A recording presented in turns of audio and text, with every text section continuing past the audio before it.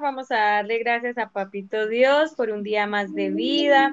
Vamos a darle gracias por el alimento, por nuestro hogar, por nuestros papitos, por el estudio, por todo lo que Él nos regala diariamente.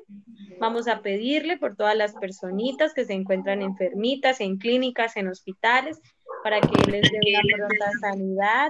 También vamos a pedir por todas nuestras familias, por las familias de nuestros amiguitos, por nosotros, para que Papito Dios nos cuide, nos proteja de todo mal y peligro. Amén.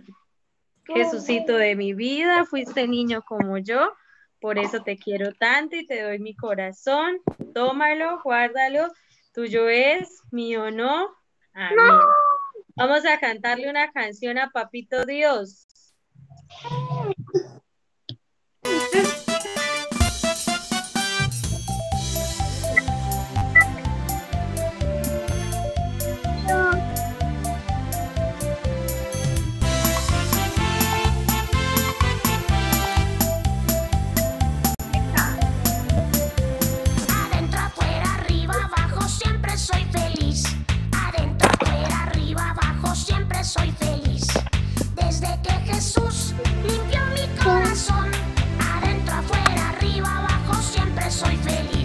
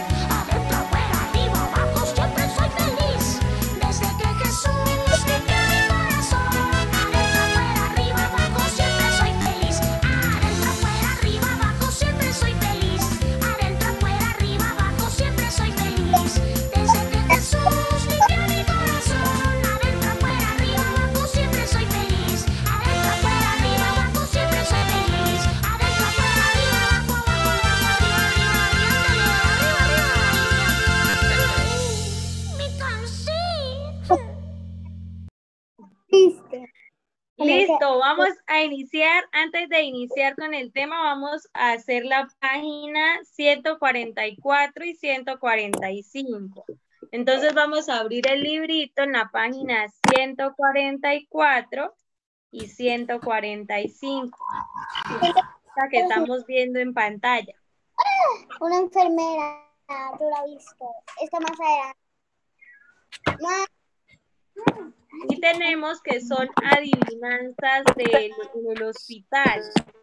¿Listo? Todos vamos a buscar página 144.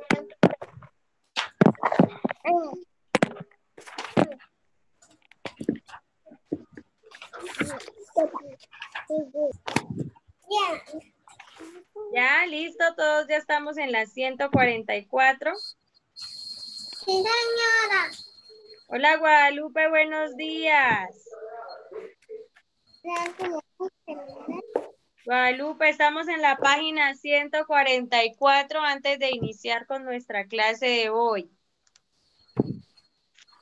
Listo, Marian Zoe, ayúdame a leer la primera estrofa.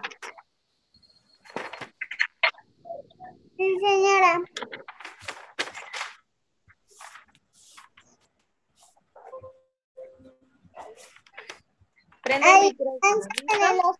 Esta es la primera estrofa, la que estoy señalando aquí. Esta. Los primeros cuatro renglones. ¿Listo? Lee. Va. Sí. A. U. El. B. Na.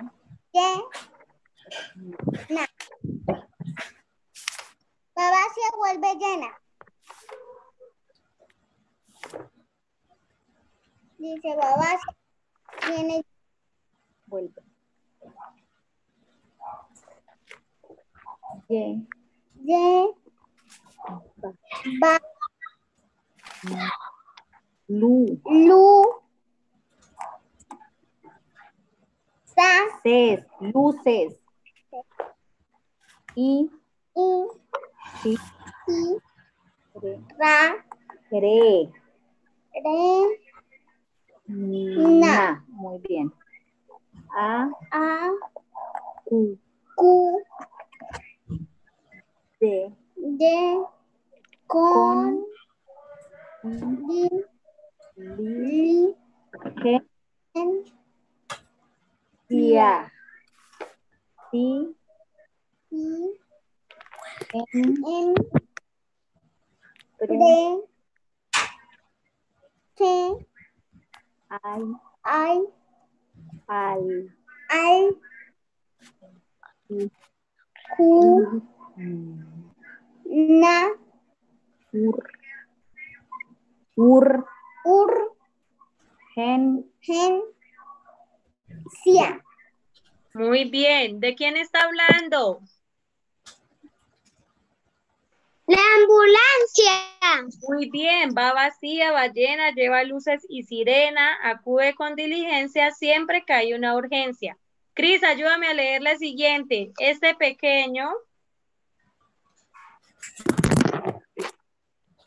Este pequeño instrumento en cal- cualquier momento y, y de manera segura cuál es tu temperatura. Muy bien, ¿de quién están hablando? De la termómetro. Termómetro. El termómetro, muy bien. Gaby, ayúdame con la última. Te trata con simpatía, te pone y, y quita la vía, te cambia a, a menudo el suero y lo hace con tanto esmero. ¿De quién están hablando? Enfermera. De la enfermera, muy bien. En la primera nos dice que resolvamos las adivinanzas, ya las resolvimos, ¿cierto? Vamos a dibujar las respuestas en el cuaderno. Entonces, en el primero vamos a dibujar una ambulancia en el cuaderno. Profe, ¿cómo se dibuja una ambulancia? Como un carrito. Ya les muestro una imagen de una ambulancia. Un dibujo fácil.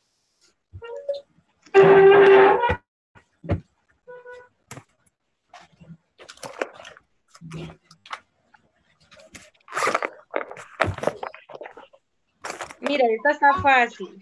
Esa la podemos dibujar. Esta que está acá.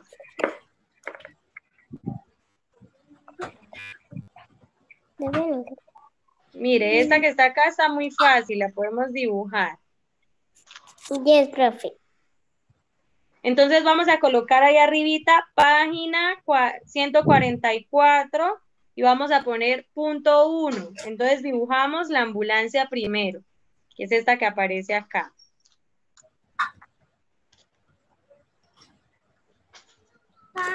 ¿Página?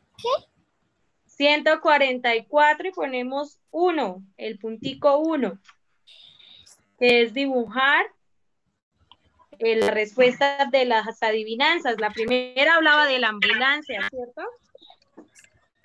Entonces todos vamos a dibujar la ambulancia.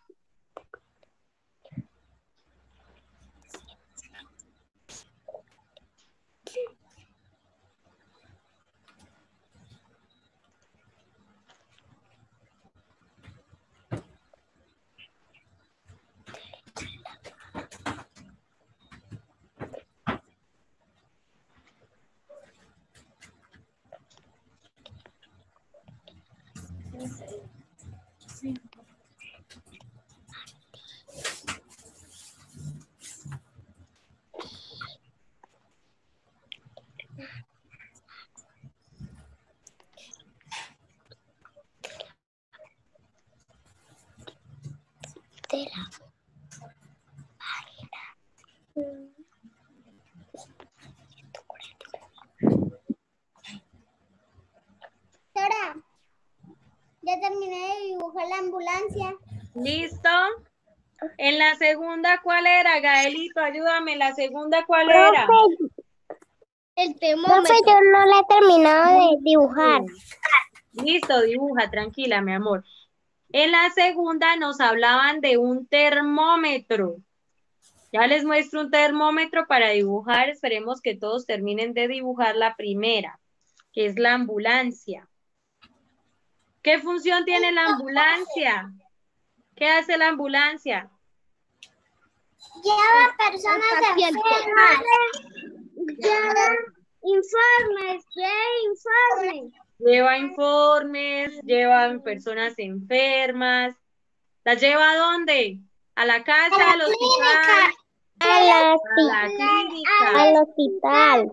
o al hospital, muy bien. O también las recogen en un lugar para llevarlas al hospital. Si la persona se encuentra muy enfermita, entonces la ambulancia también la puede llevar a la casa, ¿cierto? ¿Cierto? ¿Y para qué será esta lucecita que tiene la ambulancia? La que La sirena. la sirena. ¿Para qué sirve la sirena? Para que ellos pacientes de la sirena. A los enfermos. Para alentar. ¿Para? Para alentar. Para avisar que llevan a alguien, ¿cierto? Cuando hay de pronto mucho tráfico y hay muchos carros, entonces la ambulancia prende la, la sirena para que los dejen pasar y puedan llegar a tiempo al hospital o a la clínica. Entonces, para eso, cuando escuchamos eh, que suenan las sirenas, porque la, la ambulancia lleva a alguien o, o va a recoger a alguien. Entonces, lo está haciendo con mucha urgencia y prenden la sirena para que la gente le haga campo y ellos Listo. puedan pasar. Listo, profe, ¿ya ya terminé. Yes. Sí, señora. Listo, ahora vamos a buscar el termómetro. Vamos a buscar un termómetro que sea fácil de dibujar. ¿Ustedes han visto algún termómetro cuando están enfermitos, que les toman la No. temperatura? Sirve para tomar la temperatura. Vamos a hacer uno facilito. Podemos dibujar este que no está tan difícil. Está dificilísimo.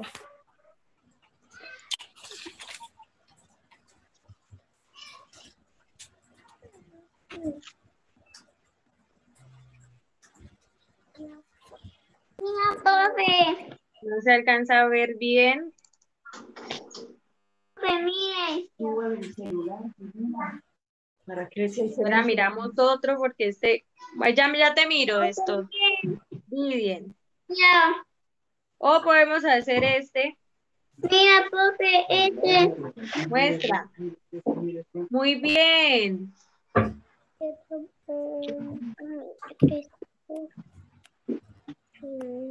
Podemos hacer este que aparece que está un poquito más fácil. También hay termómetros digitales con los que nos pueden tomar la temperatura. Letras digitales.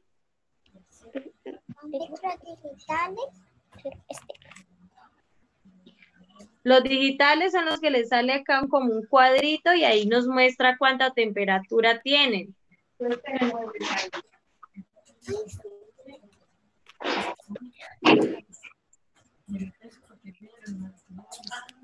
Los termómetros, ¿dónde los podemos ver? En las clínicas, en los hospitales y a veces en las casas, ¿cierto? Cuando nosotros estamos enfermitos para que nos tomen la temperatura a ver si tenemos fiebre.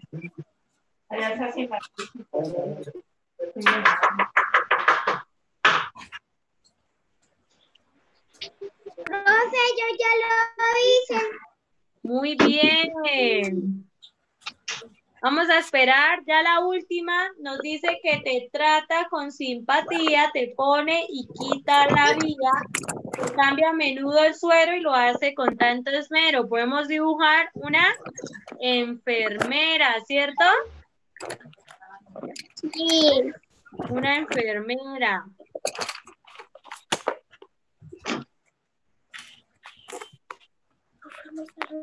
Mira.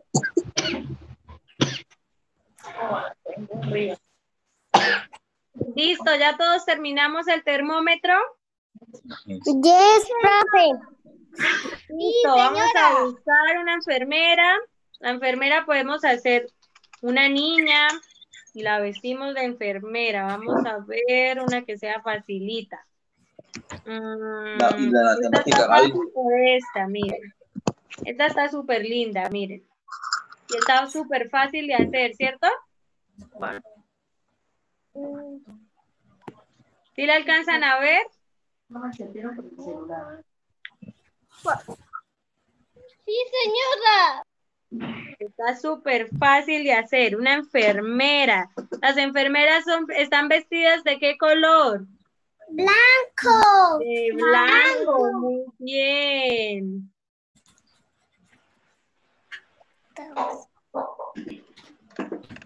¿Y qué hacen las enfermeras? Cuidan a los, a las personas o a los niños. Muy bien, cuidan a los pacientes, a los que van a las clínicas, a los hospitales, les aplican inyecciones y hacen que estén sanitos, ¿cierto? Sí. Hola Gaby, buenos días. Buenos días, profe. Mi amor, estamos en la página 144. Bueno, ya voy.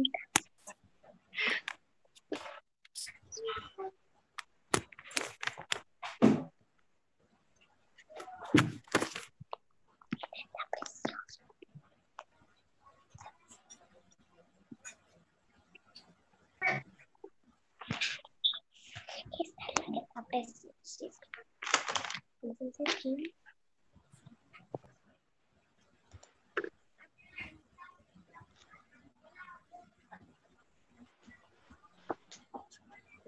¿El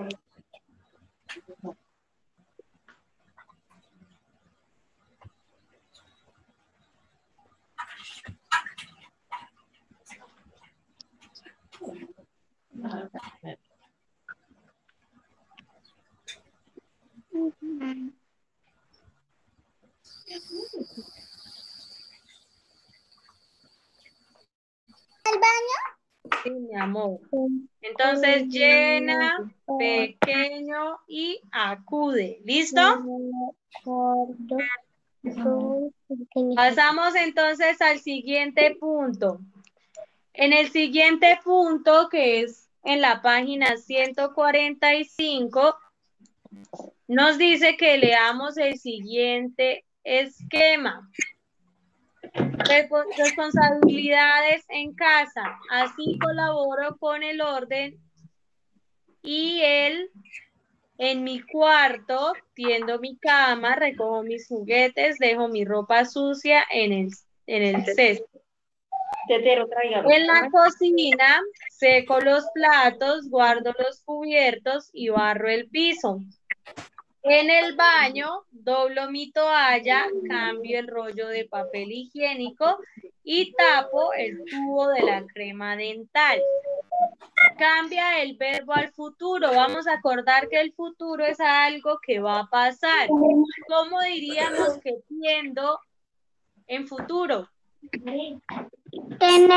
Yo tendí mi cama, estamos hablando del pasado, yo tiendo del presente y Teneré.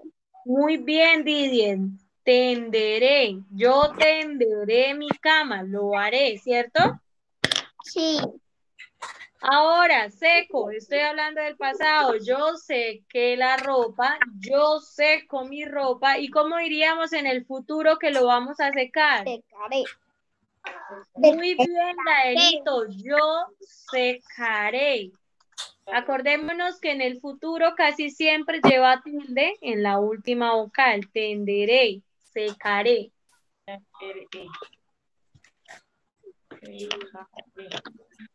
¿Qué verbos encontramos en el esquema? A ver, alguien que no haya participado. Guadalupe, ¿qué verbos encontramos en el esquema? Nómbrame uno de los verbos que encontramos en el esquema.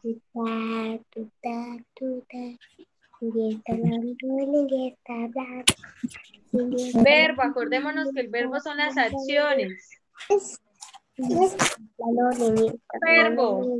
Guadalupe. Un verbo que está en el esquema.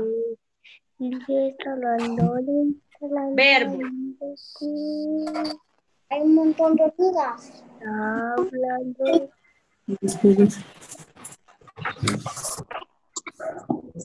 ¿Qué verbo, Guadalupe?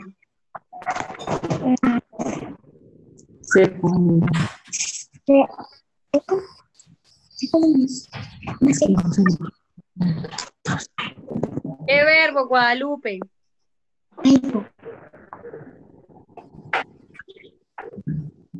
Mira, ahí encontramos verbos en mi cuarto. Tiendo, recojo y dejo. Todos esos son verbos.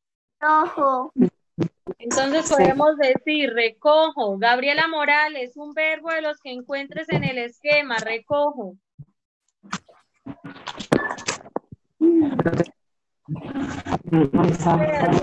Verbos son las acciones.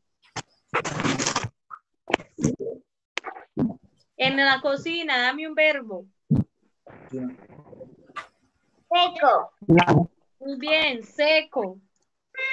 ¿Qué otro verbo encontramos? Doblo. Cambio. Barro. Muy bien, barro. Recojo, seco, doblo, cambio, barro. Ahí en ese punto encontramos verbos como tiendo, recojo, dejo, seco, guardo, barro, doblo, cambio y tapo. Todos esos son verbos, son acciones que se realizan. Acordémonos que los verbos se pueden pasar al pasado, al presente y al futuro. Los verbos son las acciones, bailar, cantar, correr, saltar, reír, llorar, gritar, estudiar.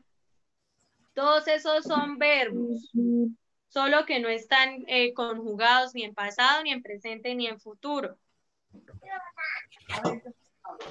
¿Listo?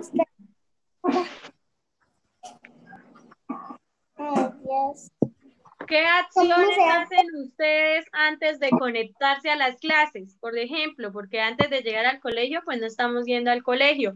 ¿Qué acciones hacen ustedes antes de llegar al colegio? A ver, de antes de estudiar. Cris, dame una acción. Vamos cada uno a nombrar una acción.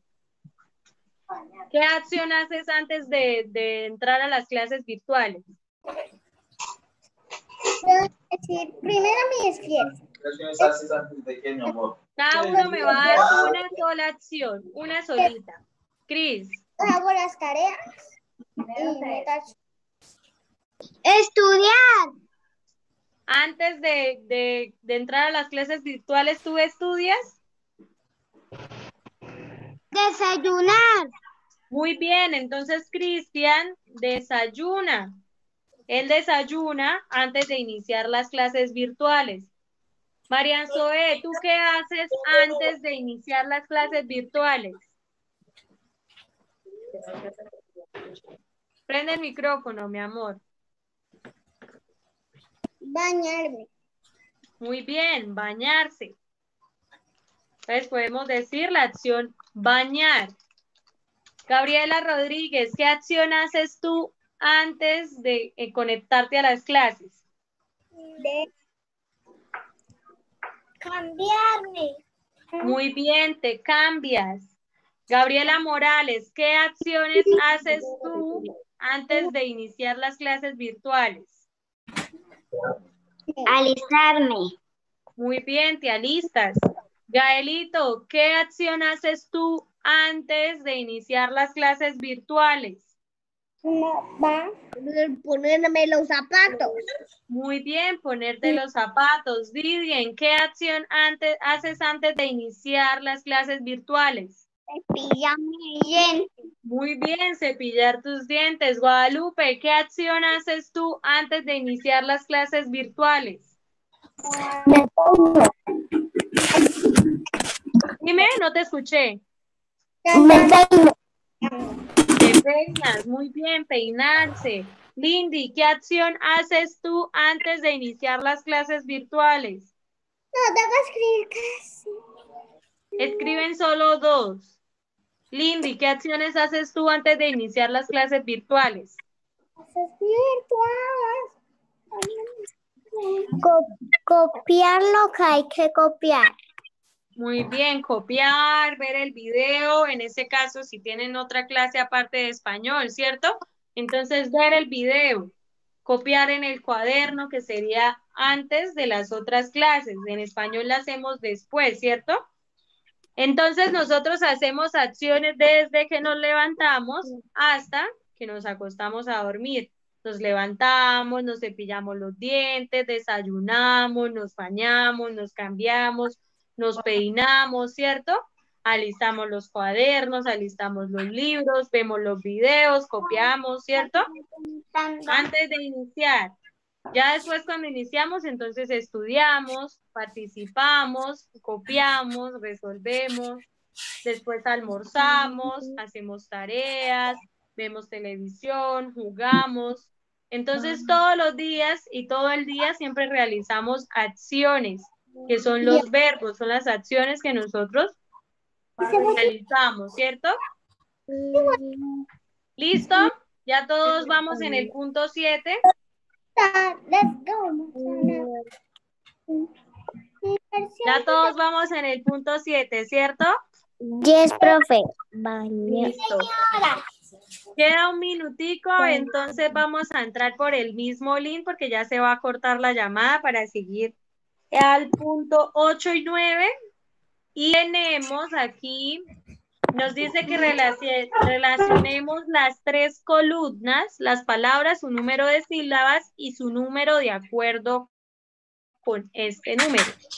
Cama, cama, ¿cuántas sílabas tiene? Cama. Dos, muy bien.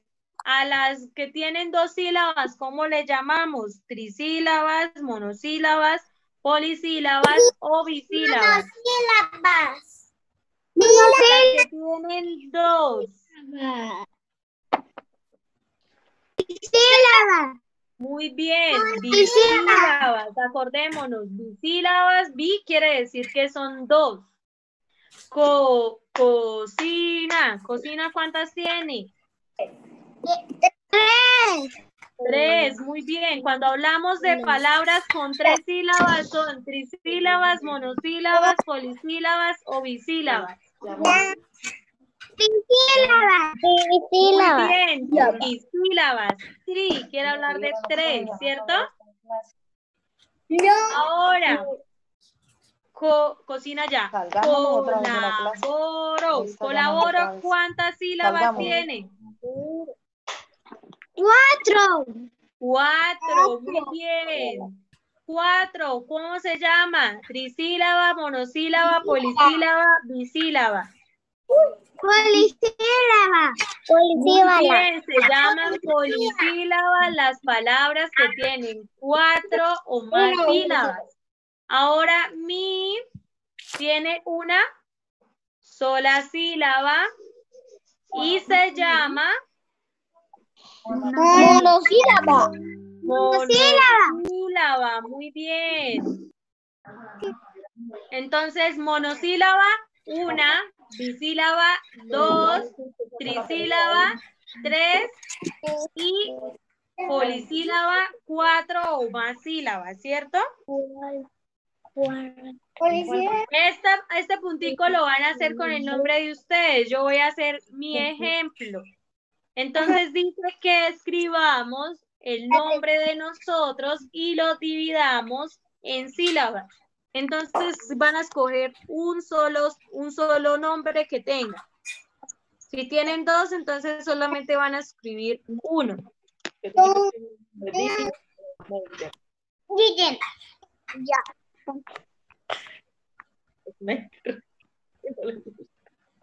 Ya. Mire. Entonces acá yo escribiría mi nombre. Mi nombre sería Gabriela. Gabriela tiene tres sílabas. Tengo un niño que tiene una sílaba. Mire, Didi. ¿Cuántas sílabas tendría Marian? Marian o Zoe. ¿Cuál vas a colocar? Soy. Ya coloqué soy. Zoe. Zoe, una sola sílaba. Lindy, ¿cuál nombre pusiste? Lindy. Lindy, ¿cuántas sílabas tiene?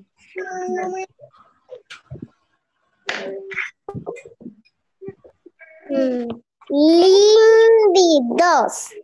Muy bien. Gabriela tiene las mismas mías. Tiene tres sílabas. Gabriela. ¿Cierto, Gaby?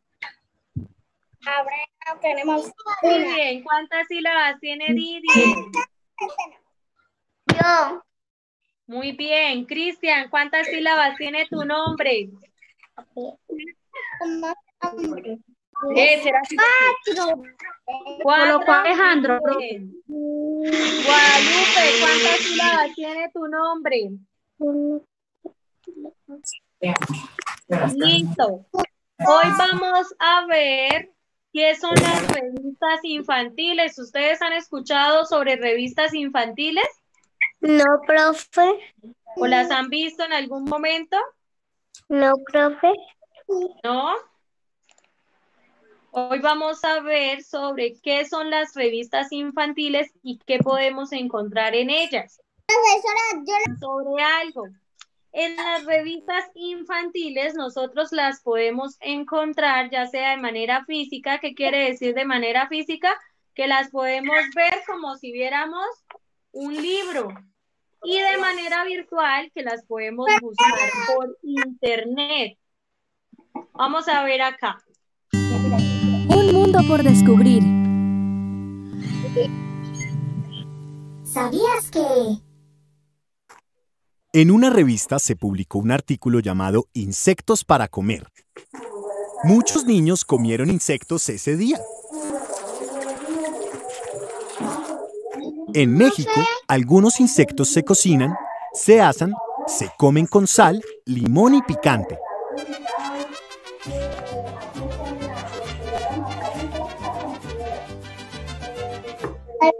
En Colombia, las hormigas culonas son uno de los alimentos preferidos por los santandereanos.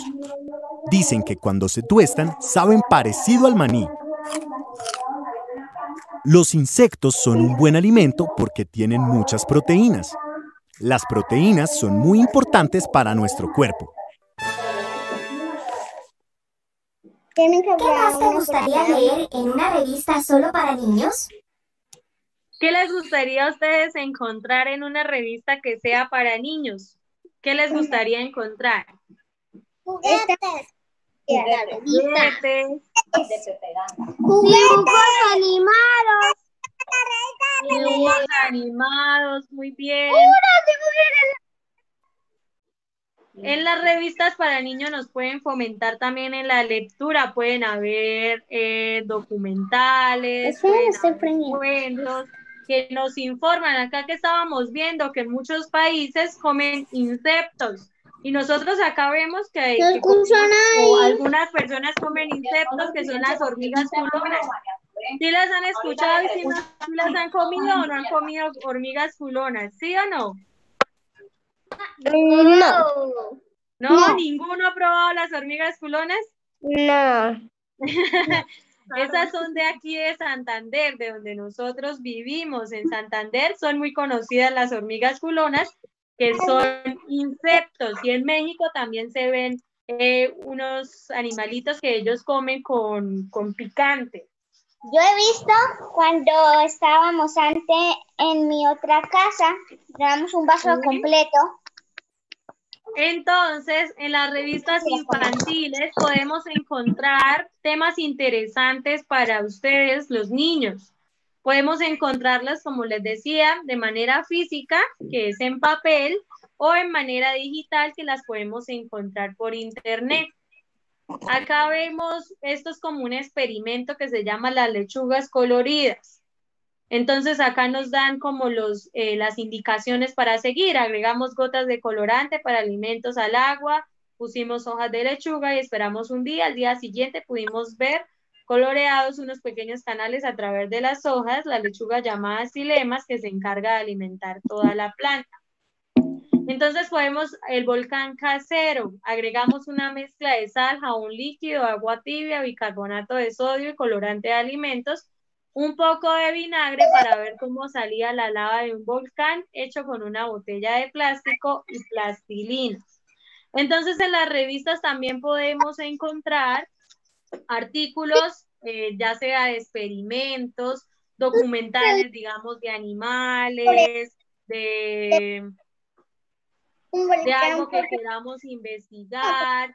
También podemos encontrar eh, entrevistas a personajes famosos que ustedes conozcan, que ya sean como eh, personajes conocidos por niños.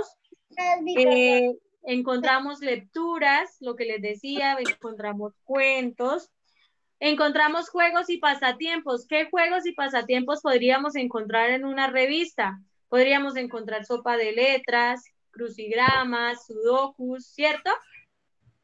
Eh, ¿Qué otros juegos podríamos encontrar nosotros en una revista? ¿Qué para de Spider-Man. Muy bien. Para colorear. Hay revistas que son para colorear, para leer cuentos y ir coloreando, ¿cierto? También podemos encontrar experimentos y datos curiosos. Entonces vamos a ver aquí unas revistas que son virtuales. Voy a mostrarles la primera, en donde encontramos eh, como cuentos. Acá tenemos la primera que se llama Principia. Así se llama la revista. Entonces en ellas vamos a encontrar unos cuentos para leer.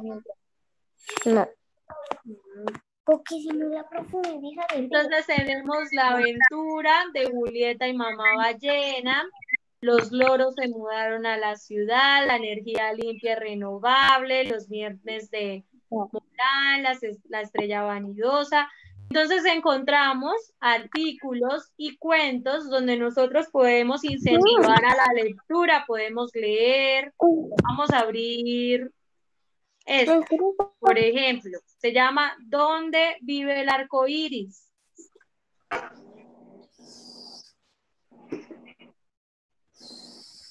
Entonces acá nos dicen el tiempo que podemos hacer la lectura. Dice tiempo de lectura, nueve minutos. Entonces sí vemos que es como un cuentico corto donde nosotros podemos propiciar nuestra lectura y trabajar un poco la lectura, ¿cierto? ¿A ustedes les gusta leer? Sí. Muy bien, entonces ahí de todas maneras los puse Vamos a leer entonces este cuentico que se llama ¿Dónde vive el arco iris? Vamos a seguir la lectura. Las clases tenían nombres marineros como los peces lunas, las tortugas verdes o los delfines manchados. Pero había uno cuyo nombre era diferente, se llamaba clase C más C, y aunque aparentemente todo en ella era normal, se sabía que esa era el aula en la que tanto ocurrían cosas muy extrañas como las que vamos a contar. Un día, mientras los niños y las niñas jugaban en el patio, el cielo fue llenándose de nubes oscuras, aunque el sol conseguía colarse por los huecos azules que quedaban entre unas y otras. Empezó a llover justo cuando el timbre señalaba el final del recreo y escaleras arriba, cada grupo se dirigió a su clase. ¿Cuándo sale el arco iris? Cuando hay Cuando, llueve, cuando llueve y hace sol al mismo tiempo. Muy bien. El grupo entero se apretujaba junto a las ventanas intentando encontrar un hueco por el, por el cual ver mejor lo que había afuera. Y es allí, y es que allí estaba muy cerca, curvo, brillante, dominando todo el cielo, un enorme arco iris. Pronto comenzaron a abrirse las preguntas. ¿Es un arco iris? ¿De dónde ha salido? ¿Por qué tiene tantos colores? ¿Dónde vive? Y también algunas respuestas. Yo este verano vi uno en la playa, a lo mejor salen de las olas de la espuma. No, no creo. Yo he visto arcoíris en un pueblo con montañas que está muy lejos del mar. Otro, otro dijo, mi padre me dijo que un día solo aparece cuando se mezcla la lluvia con el sol. Sí, sí, sí, eso es. Lo leí en un libro. Para ver el arco iris tiene que llover y hacer sol al, mismo tiempo. Mira, ahora llueve, hace sol y hay un arco iris. Y digo yo, ¿de dónde salen los colores? De las nubes, del aire. Los colores tienen que venir del sol porque los pájaros, los pájaros no pintan el cielo, ni los aviones, ni las personas, ni la luna. Pues yo creo que el arco iris se forma porque sí, sin ninguna razón. Aparecen ahora, desaparecen luego y ya están. No hay que darle más vueltas. Pero de repente ocurrió algo, una voz desconocida ronca, pero a mí se dejó ir. Y no podría ser que la luz del sol contenga diferentes colores que se separen cuando esa luz pasa a través del agua. Cuando se volvieron hacia el rincón de la biblioteca donde venían aquellas palabras, en el suelo había un libro titulado Física que acababa de caerse de la estantería. Y sorprendentemente, entre sus páginas fue surgiendo la figura de un señor alto, delgado, de pelo rubio, largo y ondulado, y tenía un rostro agradable y vestía una, ropa antigua. Si vemos la imagen que aparece aquí, este es el señor que están describiendo, ¿cierto? Sí. Continúa hablando. Discúlpenme, vuestras mercedes, yo soy Isaac Newton, viví en Inglaterra hace 350 años y dediqué toda mi vida a buscar explicaciones de las cosas que suceden. Los niños y las niñas de la clase quedaron literalmente pertificados, nadie podía pronunciar ni una sola palabra. La profesora tenía los ojos muy abiertos y una expresión en la que se mezclaba miedo y asombro. Déjenme que les diga, continuó, que tras de escuchar su conversación sobre el arco iris me he sentido obligado a salir de ese libro en el que vivo, pues yo mismo me dediqué algún tiempo a buscar respuestas a las mismas preguntas que ustedes han formulado antes. Pero, ¿qué dice este, este señor? Logró pronunciar muy bajito Lucida. ¿Y de dónde ha salido? Dijo Alejandro. Pues de ese libro grande que está en el suelo, pero Calla, ¿no ves que esto es magia? Susurró Emma. Tengo un poco de miedo, comentó Alberto. No os mováis, no digas nada, no, no lo interrumpáis, dijo la profesora intentando proteger con los brazos extendidos al grupo. No teman, nobles infantes, tan solo deseo ayudarles a comprender este prodigio de la naturaleza que es el arco iris. Isaac Newton se acercó a la ventana y bajó la persiana de forma que solo un chorro de luz se colocaba por una rendija. A continuación, sacó de su bolsillo una pequeña prisma y orientándolo, cortó con el haz de la luz hasta que de repente una línea de colores apareció en el techo de la clase. Mira, la luz blanca del sol tiene todos estos colores y el prisma los separa, dijo el físico inglés. Qué bonito y además son los mismos colores de los que de los del arco iris de la calle, de la calle Escaramojana. Sí, en efecto, pero en la calle son las gotas del agua de lluvia las que separan los colores. El arco iris es un fenómeno hermoso, mágico. Una muy antigua leyenda cuenta que quien logre llegar al final del arco iris antes de que se desvanezca, se desvanezca encontrará un tesoro. No salían de un asombro, de su asombro, pero dijeron, ¿sí? ¿Un tesoro? En efecto, respondió Newton, pero ¿qué les parece si realizamos un experimento científico, vuestras merced, crean su propio arco iris y llegan hasta el final para conseguir el tesoro? Sí, respondieron. En ese caso, procedamos sin demora, necesitamos un balde de agua, un pergamino blanco, un espejo pequeño y mucho sol. Como ustedes ya saben, trabajar en, e, en equipo, repartan las tareas, ayúdense, debatan y encuentren solución. Ya sin temor, se pusieron en movimiento y comenzaron a seguir sus instrucciones. Espejos, folios blancos, recipientes con agua fueron apareciendo por doquier. A mí me gustaría ayudar, dijo con un, aún con la voz un poco temblorosa la profesora. Gran favor me haría vuestra merced, estimada colega. Agradezco enormemente su ayuda, pues veo en el aura rarísimos objetos que no sé para qué sirven. Bien le ruego que una persona de cada equipo ocupe el lugar del espejo dentro del agua, de forma que recoja los rayos solares y los proyecte hacia el lugar que el otro miembro sujeta el pergamino o el papel. ¿De qué nos están hablando en esta historia? Todavía nos falta muchísimo. ¿De, qué nos están hablando? Sobre un arco iris. Sobre cómo se formó el arco iris. Entonces acá encontramos lecturas que nos ayudan a saber sobre algunas cosas que nosotros no sabemos. En este caso nos estaban ayudando a saber de dónde proviene el arco iris, ¿cierto? Acá tengo otro. En los eh, en las revistas virtuales podemos encontrar juegos virtuales. Ya en los físicos podemos encontrar juegos normales. Esta se llama La Canica. Es una revista de ciencias. Entonces encontramos acá juegos, el ritmo de la ciudad, memorama, vamos a entrar a ver a uno de estos. Entonces acá nos dan las instrucciones, es un juego de memoria, entonces es un juego de, de señalar, de buscar parejitas.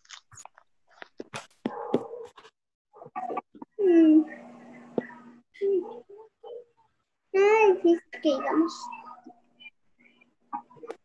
Entonces, en las revistas virtuales nosotros podemos, encontrar juegos virtuales. En las revistas físicas, pues podemos encontrar juegos que sean para realizar, ya sea con colores, con lápices, como sopa de letras, crucigramas, de colorear, sudokus, juegos que nosotros podamos realizar en la misma revista, ¿cierto?